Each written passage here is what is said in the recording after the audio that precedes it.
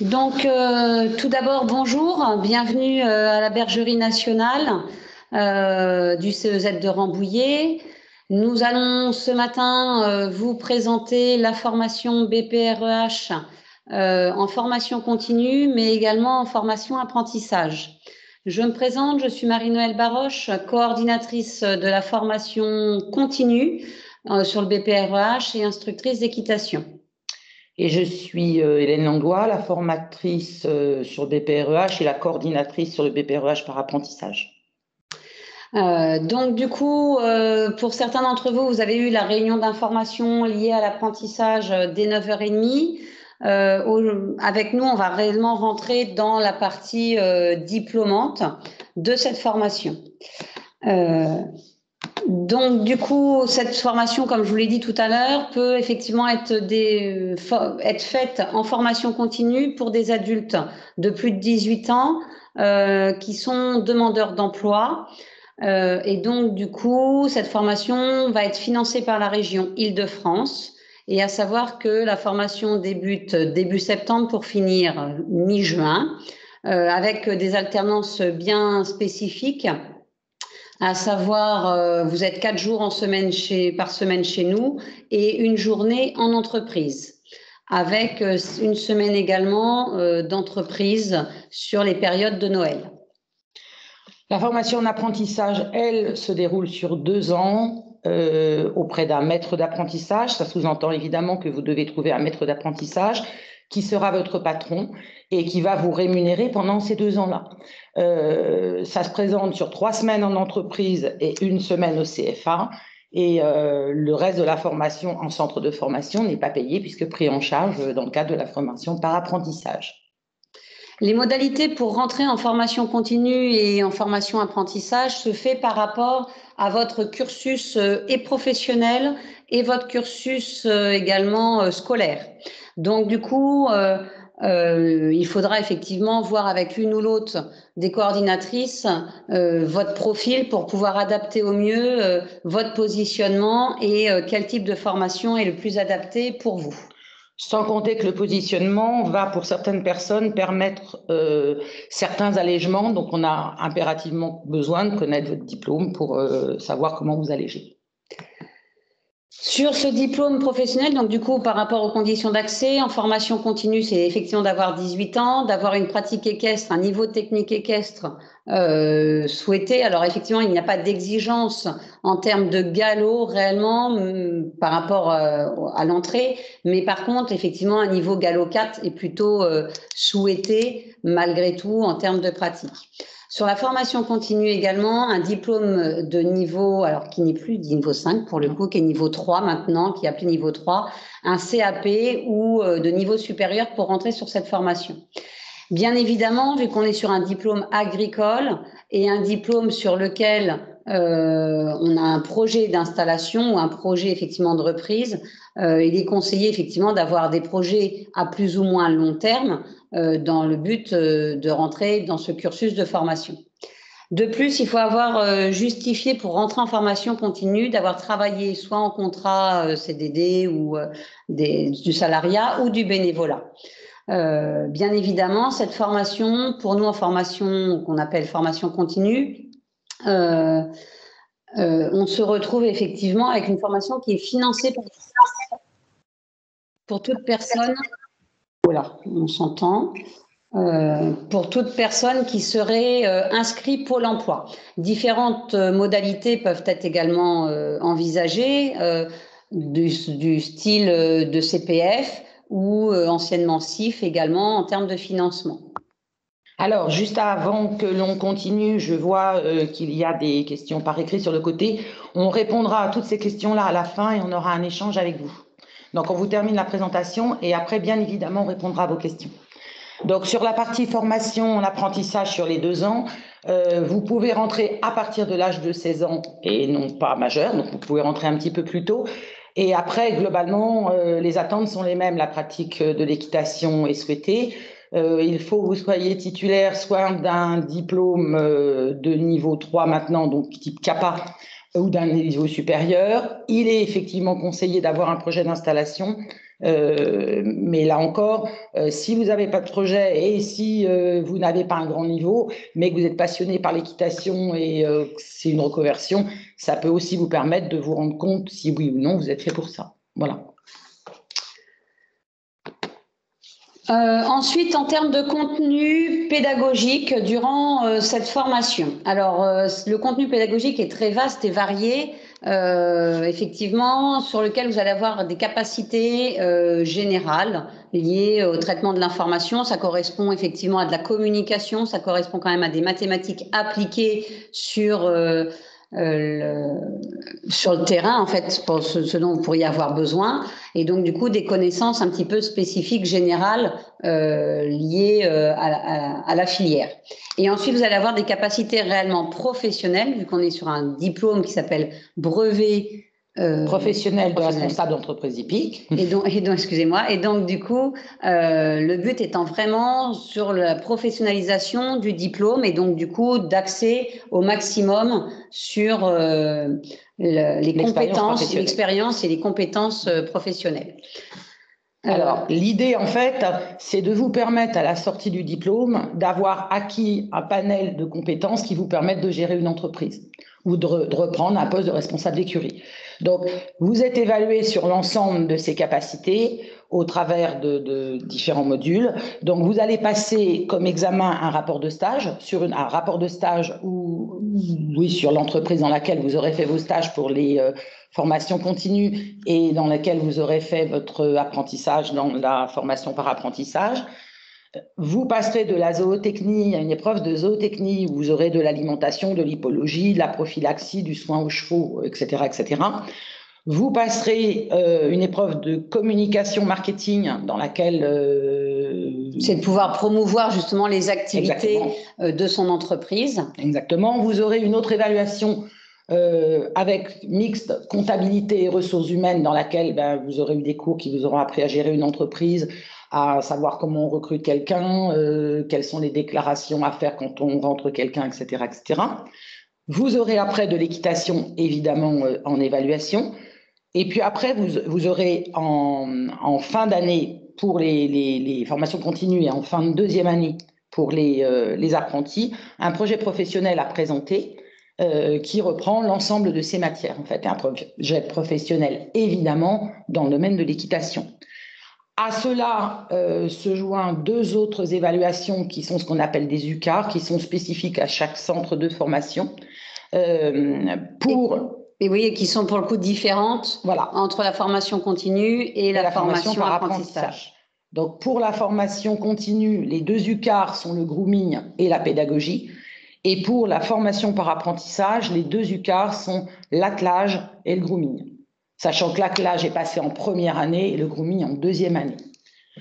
Donc voilà. Bien évidemment, euh, ces modalités, à savoir qu'il y a effectivement huit examens à valider pour euh, avoir le BPRH, bien évidemment, à travers tout ça, vous avez euh, tous les contenus de cours qui sont en relation avec les évaluations. Hein. Donc du coup, comme a dit ma collègue, tout ce qui est hypologie, zout, alimentation, reproduction, euh, une partie effectivement plus orientée sur euh, l'analyse euh, d'une entreprise avec son fonctionnement, son fonctionnement, ce qui comprend les bâtiments, ce qui comprend de l'agroéquipement, la conduite de tracteurs, qui comprend également. Euh, vous passerez le SST, vous passerez le CC-TROV. Le transport d'animaux vivants. Et donc, du coup, euh, euh, ce qui va vous permettre effectivement d'avoir euh, une connaissance très vaste euh, pour pouvoir justement manager et euh, gérer une entreprise hippique, que ce soit centre équestre, écurie de propriétaire, élevage, peu importe euh, réellement votre projet à court ou moyen terme. Pour ceux qui peuvent se poser la question concernant l'équitation, l'équitation, vous allez monter à cheval sur l'équitation classique, c'est sous en dressage, mais vous apprendrez aussi à longer un cheval, à faire du travail à pied avec un cheval, qui donc peut permettre en termes d'évaluation à quelqu'un qui n'a pas un grand niveau équestre d'obtenir la, capacité qui va avec. Une particularité à souligner, la totalité des évaluations en BPREH se font à l'oral et uniquement à l'oral. Euh, euh, pour pouvoir avoir le diplôme, il faut valider la totalité des capacités. Vous ne pouvez pas avoir de compensation, très bien monter à cheval et ne pas avoir fait de projet, par exemple. Une fois que vous passez une capacité, vous allez passer une capacité à l'oral. Si vous ne l'avez pas, vous avez la possibilité d'avoir un rattrapage la même année pour essayer bah, d'acquérir cette capacité une deuxième fois. si une des capacités n'est pas acquise, alors à partir de là, vous êtes euh, ajourné sur l'année, mais vous pouvez représenter, vous gardez toutes les capacités acquises euh, durant votre année et vous pouvez présenter à nouveau la capacité qui vous manque les années suivantes jusqu'à obtention du diplôme. Juste une petite euh, parenthèse, si vous posez la question, la différence entre le bac pro et le BPRH en apprentissage, pour le coup, effectivement, le BPRH se fait en deux ans, l'apprentissage se fait en trois, voire deux en fonction des profils, mais par contre, le BPRH en apprentissage et euh, je dirais euh, plus euh, sur la partie professionnelle et plus axé effectivement sur le cœur de métier et alors même s'il y a de la comptabilité gestion, hein, mais les évaluations n'étant pas faites de la même manière que le bac pro, euh, c'est une approche, euh, on a un diplôme de même niveau d'échange. Voilà. En fait, avec un professionnel, l'ensemble des évaluations, toutes quelles qu'elles soient, se font avec la personne qui euh, vous aura fait les cours, le formateur des cours, et quoi qu'il arrive, un professionnel. Donc effectivement sous forme d'échange. En revanche, que ce soit dans l'une ou l'autre des formations temps plein, enfin en formation continue ou en formation par apprentissage, le diplôme n'est pas une formalité. Donc euh, ça sous-entend évidemment une implication. En revanche, pour quelqu'un qui est des fois un petit peu moins scolaire, mais qui est très euh, pratique, c'est une formation qui est beaucoup plus adaptée. C'est une formation générale, on choisit d'y venir. donc on choisit d'y venir, euh, on ne tombe pas là-dedans par hasard. Par contre, bien évidemment, il est équivalent en termes de niveau d'un bac, c'est la même chose. Et par contre, il donne effectivement des prérequis en termes d'installation pour avoir les aides jeunes agriculteurs et pour le coup de pouvoir préempter au niveau de la au, sujet au niveau de la SAFER et donc du coup euh, d'être reconnu comme agricole pour pouvoir acheter et des terrains. des aides jeunes agriculteurs à l'installation et du parcours jeunes agriculteurs. Donc tout ça, si jamais vous êtes plus, enfin intéressé plus précisément, vous pouvez, on en discutera euh, ensemble après. Alors, en termes d'informations pratiques, donc du coup, en termes de volume, la durée totale sur la formation euh, d'un an est de 1035 heures euh, de présentiel, avec 260 heures de stage. Et il y a également des heures en FOAD, ce qu'on appelle des heures en FOAD, c'est des heures en distanciel, c'est-à-dire qu'il y a une centaine de cours, une centaine d'heures, pardon, de cours qui est mise sur une plateforme et sur lequel vous allez pouvoir travailler en autonomie de chez vous. Sur les 1035 heures, il y a une centaine d'heures qui est attribuée effectivement en distanciel. Donc cette formation débute le 5 septembre et finira le 10 juin. Euh, dedans, vous aurez bien évidemment un planning euh, qui vous sera fourni euh, dès, dès, votre entrée, avant votre entrée en formation, et également des conventions de stage pour pouvoir être en tripartite entre vous, le centre de formation, c'est-à-dire nous, et l'entreprise structure d'accueil qui vous prendra en stage une journée par semaine. Alors, pour la, partie euh, apprentissage, la formation, donc, elle s'étale sur deux ans. Elle va commencer cette année, euh, fin août, le 29 août, pour se terminer euh, le, fin juin. elle comprend 832 heures sur les deux années.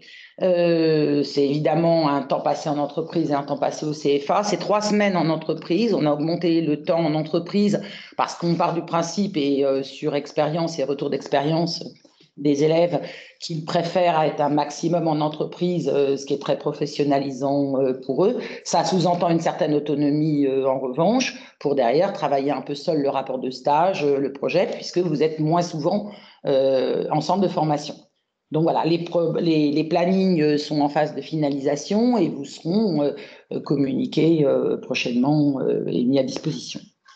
Sur la formation continue, bien évidemment, on a un volume qui est plus élevé que l'apprentissage, car euh, l'apprentissage, euh, ça permet également d'apprendre aussi sur le terrain et donc du coup de faire des retours euh, plus facilement quand ils viennent au CFA. Sur la formation continue, effectivement, nous avons beaucoup moins d'heures de stage, mais on se sert par contre de l'acquis et des connaissances autres que du milieu cheval, hein, qui peut effectivement être un facteur sur lequel effectivement ça, on a eu un son bizarre, sur lequel effectivement ça va pouvoir vous servir de vécu. Et donc du coup le positionnement sur la formation continue, effectivement la base c'est 1035 heures, mais il y a des allègements qui peuvent être faits suite au positionnement par rapport à des équivalences je dirais, de diplômes, mais également euh, des équivalences de compétences et de connaissances. Donc, du coup, euh, ce positionnement peut effectivement faire varier le volume total d'heures en centre. Alors, en termes ensuite de pièces à fournir, euh, bien évidemment, si vous êtes intéressé par cette formation, vous aurez bien évidemment des dossiers complets à remplir qui vous seront demandés par le pôle formation.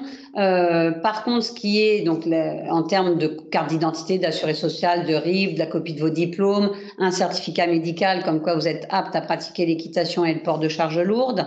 Euh, mais sur la formation continue, si vous êtes sur une formation qui sera financée par la région, on vous demande effectivement de nous justifier vos inscriptions au pôle emploi pour pouvoir prétendre à cette formation qui du coup sera gratuite pour vous et donc du coup financée par la région. Euh, par contre, en termes de rémunération sur la formation continue, euh, vous pouvez prétendre, si vous ne touchez pas le chômage, vous pouvez prétendre à une rémunération durant la formation qui s'appelle ASP. C'est une rémunération qui est allouée euh, à toutes les personnes demandeurs d'emploi qui sont inscrites dans une formation région.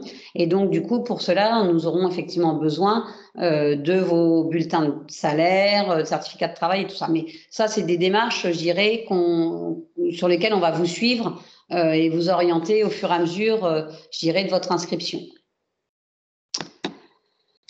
Pour le coup, en termes de modalité d'inscription, on vous demande effectivement aujourd'hui pour vous connecter sur euh, la forme, enfin sur ce lien de, visio, vous avez dû faire une préinscription et donc du coup, ce qu'on a besoin, c'est qu'il faut aller dans l'onglet préinscription du CFA du CFPPA, bien identifier la formation BPREH que vous voudriez faire en ayant avant identifié si vous voulez être formation continue CFPPA ou formation euh, par apprentissage CFA.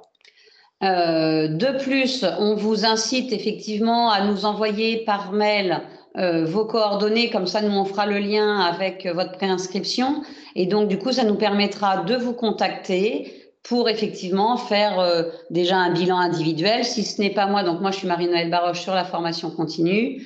Et moi, Hélène Langlois, sur la formation par apprentissage. Voilà, donc du coup, on vous a laissé nos adresses mail euh, ici euh, visibles pour pouvoir effectivement euh, nous, nous, contacter.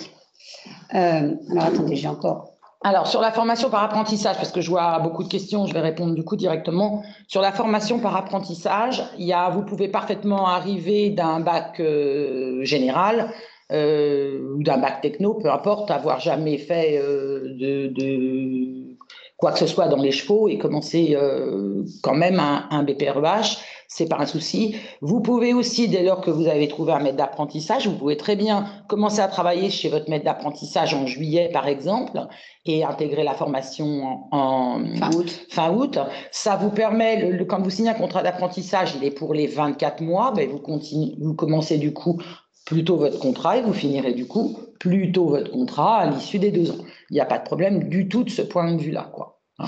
Alors, vous, on revient sur la première question, de dire bonjour, combien y a-t-il d'heures d'équitation par semaine? Alors, moi, sur la formation continue, en fait, euh, c'est réparti sur l'année. Donc, du coup, il y a 98 heures d'équitation et une trentaine d'heures de travail à pied euh, d'équitation sur la formation continue. En sachant que vous montez euh, au moins deux créneaux par semaine et des fois, moi, sur la formation continue, des blocs sur des semaines entières. Alors, vous aurez forcément moins d'équitation euh, en apprentissage, d'abord parce que vous êtes là à mi-temps. Et le fait d'être là une, euh, semaine par mois, bah, fait que vous allez monter que pendant une semaine. Donc, euh, vous avez deux, heures d'équitation, deux heures de travail à pied. ils ont six heures. Et, alors, et, voilà, vous avez six heures. Et vous avez aussi, par contre, l'attelage qui peut être assimilé à l'équitation. voilà. Alors, vous dites que l'expérience bénévole compte. Euh, faut-il des lettres signées? Alors oui, effectivement, il faut qu'on ait des recommandations disant qu'effectivement, sinon, euh, c'est, ça serait que sur. Euh, fait. Ça, ça, serait trop facile. Donc effectivement, on demande des dettes de recommandation. Alors un BPREH, est-ce qu'il y a un effectif minimum? Oui, on n'ouvrira pas à deux, si ce n'est qu'il y a déjà a priori des préinscriptions Donc, a priori, la formation, elle va, elle va s'ouvrir, il n'y a, pas, a pas de souci. il, peut, il peut redescendre, j'ai pas tout vu. là. Et quand, alors, l'idéal, c'est que vous soyez inscrit le plus tôt possible pour une raison très simple. Si je prends l'année euh, 2021, euh, la formation était pleine et il y a des gens qui n'ont pas pu, qui pas pu rentrer. Donc, pour pouvoir rentrer, moi, je vais vous demander évidemment d'avoir signé un contrat avec un maître d'apprentissage et je vous encourage vivement à vous occuper du contrat avant le mois d'août, c'est-à-dire le plus tôt possible. Forcément, parce que l'ensemble des bacs et des gens qui vont sortir d'études de, de, bah, vont chercher des maîtres d'apprentissage et c'est le premier euh, arrivé qui va être le premier servi. Si vous voulez, si en plus vous voulez aller dans une écurie, euh, par exemple un centre EQUEX obligatoirement parce que ça correspond à vos attentes et à votre projet, bah, s'il n'y a plus de place dans ce domaine-là, vous allez aller chercher dans un domaine par dépit et c'est jamais très bon. Donc cherchez le plus rapidement possible un maître d'apprentissage. Ne prenez pas un maître d'apprentissage en disant j'ai trouvé ça, ben, comme ça c'est bien. Euh, cherchez quelque chose qui vous convient. Vous allez passer deux ans chez le maître d'apprentissage, euh, qui lui doit aussi prendre le relais sur le, terrain euh, de tout ce que vous avez à apprendre au CFA. Et si vous souhaitez monter à cheval parce que vous avez un petit niveau et que vous souhaitiez que le maître d'apprentissage prenne le relais sur le terrain, il faut que ce soit expliqué lors de l'entretien que vous allez avoir et pas dire bah, je ferai tout ce qu'on me demande du moment que je suis pris. Parce que ça, c'est ce qu'on dit au début et ça ne dure pas. Alors, Katia, vous demandez quelle est la tranche d'âge pour intégrer cette formation. Alors, euh, tout dépend si la formation continue adulte ou si c'est la formation apprentissage, en fait. Formation par apprentissage, c'est de 16 à 30 ans. Je ne vous cache pas que passer 25 ans, c'est compliqué pour des raisons très simples, c'est que vous êtes payé en apprentissage par votre maître d'apprentissage. Et passer 25 ans, vous coûtez plus cher qu'un SMIC. Donc ça commence à être compliqué. En revanche, on a, euh, ça arrive hein, qu'on ait des BPREH de plus de 25 ans qui soient embauchés, mais c'est plus compliqué. mais vous pouvez rentrer jusqu'à 30 ans. A priori, euh, Katia demandé sur la formation continue adulte. Moi, le prérequis, c'est de justifier d'un an de travail. C'est-à-dire qu'effectivement, si vous avez été en apprentissage à 16 ans euh, et donc du coup, vous avez 18 ans et vous désirez rentrer en formation, en formation continue, il n'y a aucun problème. Quel que soit le domaine. Voilà. Donc, pour le coup, c'est de justifier d'un an de travail. Sinon, effectivement, vous allez forcément être orienté vers la formation apprentissage. Alors après, j'ai Amandine qui nous demande est-ce que le AE permet d'enseigner seul? Alors le AE, ça va être une petite parenthèse que je vais faire sur ma dernière vignette justement, euh, en disant qu'effectivement, euh, on va avoir un double, on va pouvoir vous proposer en fait euh, sur la formation continue uniquement un double cursus à savoir de faire un BPREH et un diplôme d'animateur d'équitation, en fait, sur une même année. Ce qui veut dire que vous allez euh, réellement passer deux diplômes en une année et donc du coup pouvoir effectivement derrière euh, prétendre à avoir un diplôme fédéral et un diplôme agricole.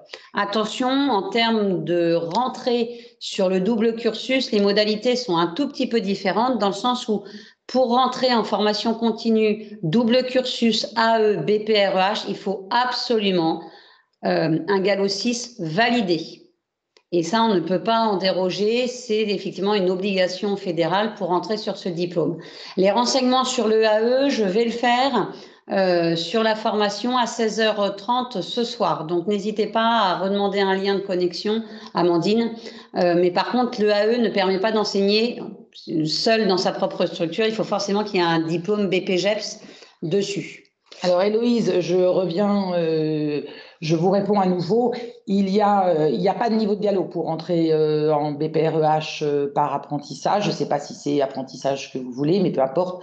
Euh, il n'y a pas de niveau de dialogue en continu non plus. Et euh, pour avoir accès à la formation, il faut soit avoir travaillé un an minimum en formation adulte, soit avoir, euh, par exemple, commencé une première. Quoi avoir un ou avoir un CAPA. Donc il n'y a pas de niveau spécial. Alors, Katia demande est-ce qu'on a des entreprises rattachées à notre école? Alors, on travaille effectivement avec certains maîtres d'apprentissage. On a effectivement un travail avec eux, mais rien ne vous empêche de choisir une autre structure qui ne serait peut-être pas aujourd'hui euh, maître d'apprentissage chez nous ou maître de stage, hein, euh, sous prétexte que c'est plus proche de chez vous et que du coup, euh, ça vous facilite et que c'est une entreprise qui est prête à devenir entreprise d'accueil. Alors, pour l'apprentissage, il y a quand même certaines modalités pour devenir maître d'apprentissage.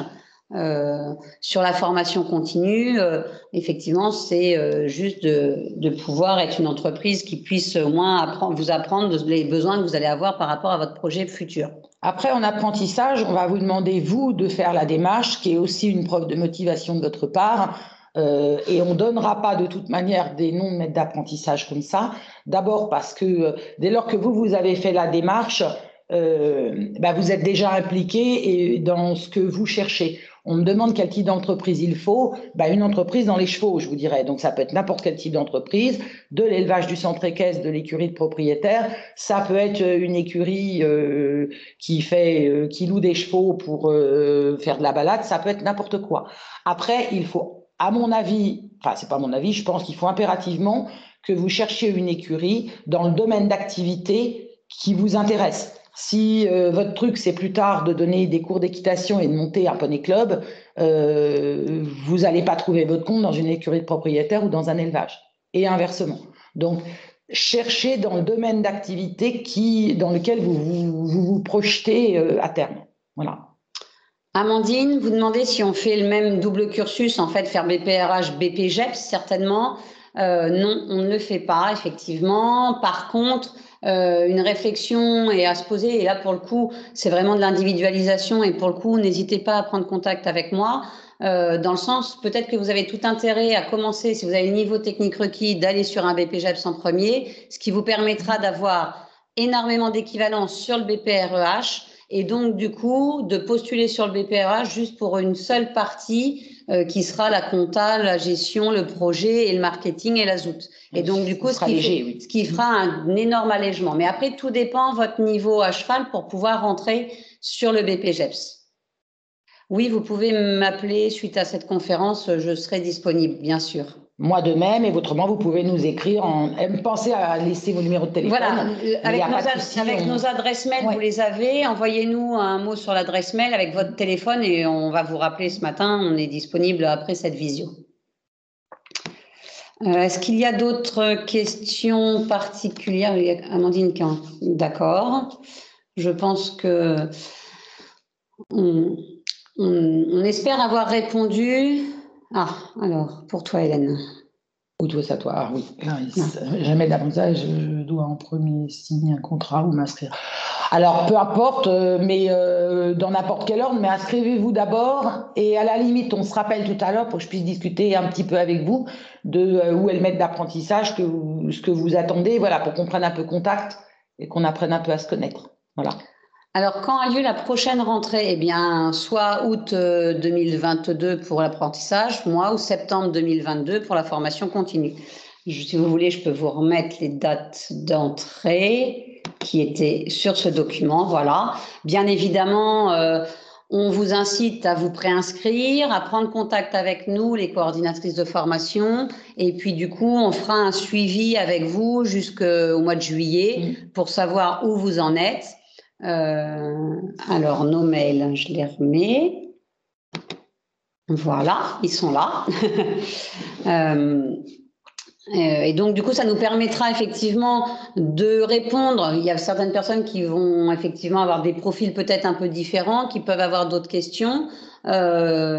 Nous, effectivement, n'hésitez pas à nous contacter, surtout vous préinscrire sur notre logiciel également, parce que c'est important d'avoir toutes vos coordonnées. Ça nous permettra derrière de vraiment faire le lien même entre ma collègue et moi, de se dire je vous ai eu et moi je vous ai conseillé d'aller en apprentissage ou inversement. Et donc du coup, ça nous permet effectivement euh, d'aller, euh, de faire un vrai suivi personnel. On sera globalement capable l'une et l'autre de répondre sur apprentissage et sur formation continue.